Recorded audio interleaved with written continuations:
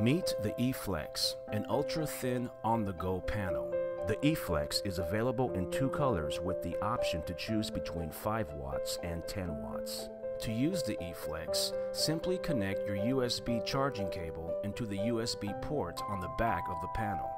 Then connect your USB device of choice.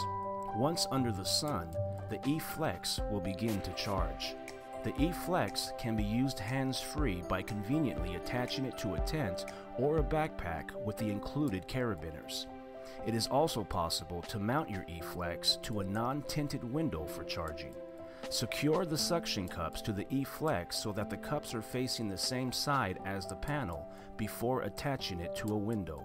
If you're having any charging issues, please make sure that the eFlex is in full sunlight.